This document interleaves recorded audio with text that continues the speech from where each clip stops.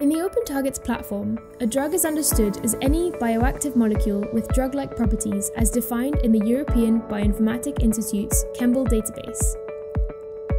A drug in the platform might belong to different modalities, such as small molecules, antibodies, or oligonucleotides. However, some therapies, such as vaccines, blood products, or cell therapies, are not represented in our drug dataset. Moreover, since our definition is molecule centric, multi ingredient drugs won't be represented and only their individual active moieties might be available to browse.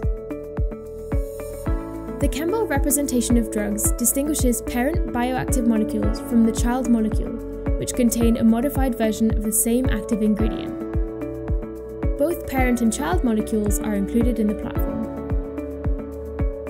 Our data sources for drug annotation are ChEMBL, which provides molecule information, indications, mechanism of action, and drug warnings. We also collect pharmacovigilance data from the USA's Food and Drug Administration Adverse Events Reporting System.